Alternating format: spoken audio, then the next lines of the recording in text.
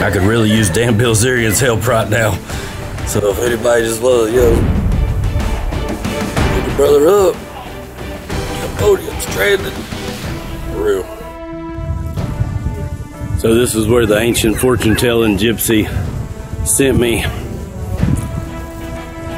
So I'm here to find answers about this event that uh, I keep having dreams about. Let's go inside. You know, sometimes when you're looking for answers, there's times in our life we all face adversity.